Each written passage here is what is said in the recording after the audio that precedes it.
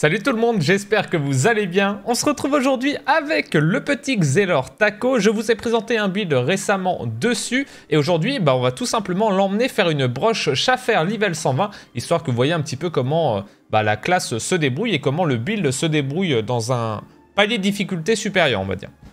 Donc j'espère que ça va vous plaire. Comme d'hab, le petit pouce bleu, l'abonnement si ce pas déjà fait. Et évidemment, n'hésitez pas à passer me voir sur Twitch. Mais nous, ce qui nous intéresse, voilà, c'est est-ce que ce taco va-t-il passer cette broche? Évidemment que oui, sinon je vous ferai pas une vidéo. Mais je vais vous faire voir tout ça, comment ça se passe. Euh, petit récap du build, comme d'hab, si vous voulez plus de détails, allez voir la vidéo du build euh, qui est dispo sur la chaîne. Donc, on joue évidemment avec Anoasis, Anoblong, Anopera et Anofusqué avec le brassard de lame pluvieuse. Le but étant de mettre des grosses auto-attaques en cumulant des points d'action.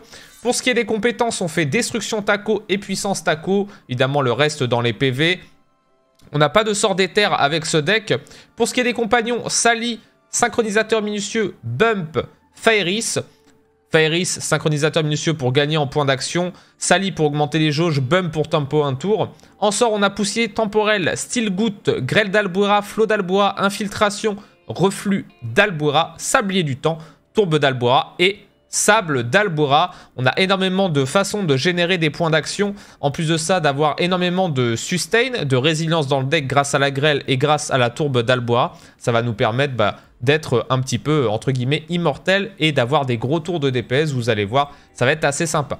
La broche, c'est la broche osseuse. Euh, invoque Isol Cam, 100% en dégâts des auras traits de rancune attaque plus 1 aura trait de rancune à un chaffer allié aléatoire. Attention à ça, ça peut faire très très mal, sachant que les traits de rancune voilà, infligent l'attaque du porteur à l'attaquant. Donc voilà, attention à ça, ça peut faire très très mal. Sur ce, let's go, on va euh, se faire cette broche 120, c'est parti.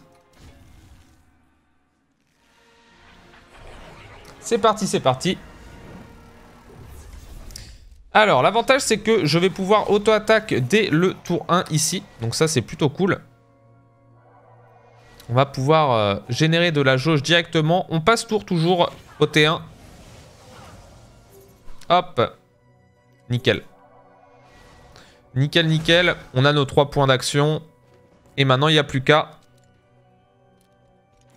On a le style goutte là directement si on veut. Je peux me placer de façon à pas prendre trop de dégâts.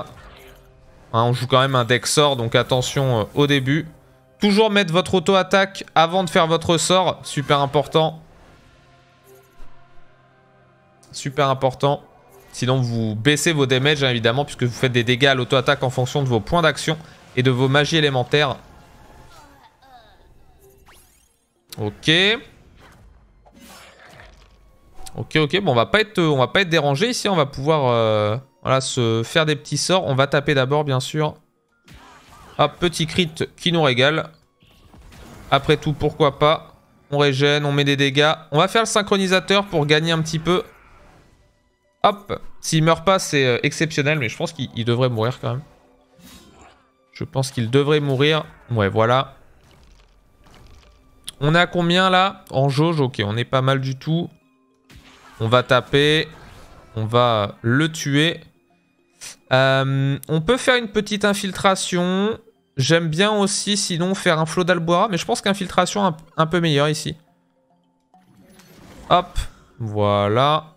Je vais pas faire le bump ici, c'est pas nécessaire. On est euh, pas mal du tout. Ok. Euh, alors, on a un sable d'Alboira. Déjà, on va taper. On va le tuer, lui. Presque. Je peux faire ça. On peut faire le sablier du temps, sinon pour les Oraibou.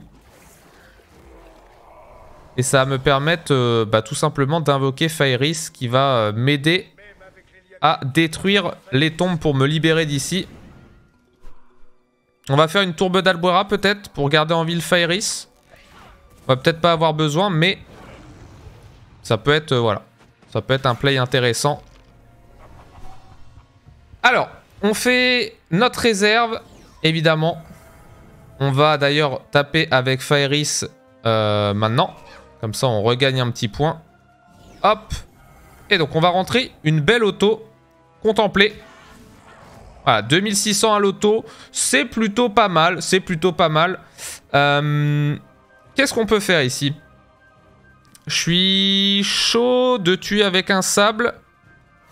Comme ça. C'est pas mal du tout. Et euh, ici, je vais pouvoir faire une, euh, une petite tourbe. Histoire de garder notre Fairis en vie. Et derrière, on peut faire une petite grêle. Et ça nous fait un super tour ici. Full sustain. Notre Fairis est en vie. va nous permettre de regagner un petit peu en point d'action. Donc c'est très très cool. Let's go.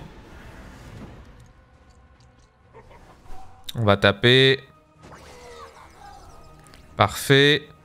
Hop, on va taper ici, évidemment. On met du 1000 hein, quand même, donc c'est pas euh, anodin, sachant qu'on n'a pas de trop de points d'action ici. On peut aller se soigner. Hop, le petit bump. le petit crit qui fait plaise. Hop, on se met le bouclier. On est vraiment pas mal du tout.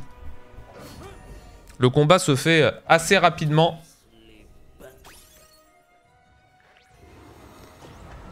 On est très très bien. On peut aller taper avec Fairies juste ici.